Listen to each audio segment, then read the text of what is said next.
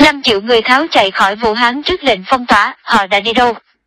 Dịch viêm phổi do virus corona mới có nguy cơ lây lan toàn cầu khi khoảng 5 triệu dân trong vùng dịch Vũ Hán đã rời đi trước khi chính quyền địa phương ban bố lệnh phong tỏa.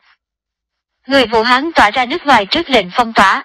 Tại cuộc họp báo hôm 26 tháng 1, thị trưởng thành phố Vũ Hán Sianan cho biết khoảng 5 triệu dân đã rời khỏi thành phố trong khoảng thời gian từ khi phát hiện những ca bệnh viêm phổi lạ đầu tiên hôm ngày 30 tháng 12 năm 2019 đến khi lệnh phong tỏa được ban bố hôm ngày 23 tháng 1 năm 2020.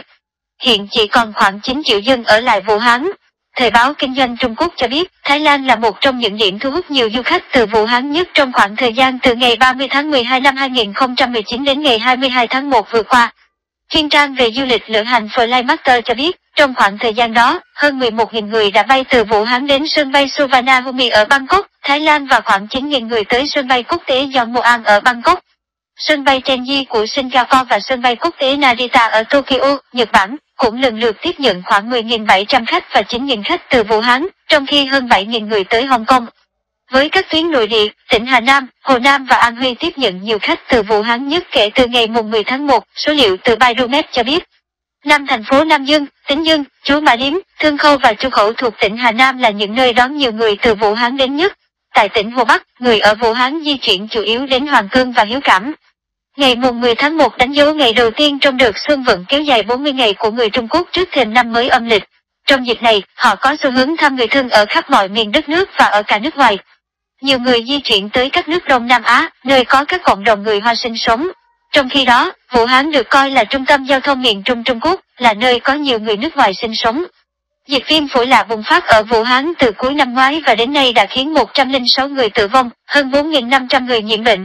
Các trường hợp dương tính với virus corona chủng mới gây dịch viêm phổi này cũng đã xuất hiện ở nhiều quốc gia trên thế giới.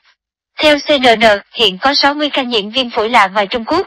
Đến ngăn dịch lây lan, chính quyền địa phương đã ban bố lệnh hạn chế đi lại, đóng cửa các nhà ga, sân bay, ngừng các dịch vụ giao thông công cộng. Người dân được khuyến cáo không được rời khỏi địa phương, thiếu trầm trọng nguồn lực y tế đối phó dịch. Số ca nhiễm và nghi nhiễm virus corona chủng mới ở Hồ Bắc có xu hướng tăng nhanh trong những ngày gần đây khiến các bệnh viện luôn trong tình trạng quá tải. Phát biểu tại một cuộc họp báo ở Bắc Kinh hôm nay, bà Giao Gia Huy, người đứng đầu văn phòng quản lý y tế của Ủy ban Y tế Quốc gia Trung Quốc, cho biết nước này thiếu trầm trọng nguồn lực y tế để kiểm soát dịch viêm phổi.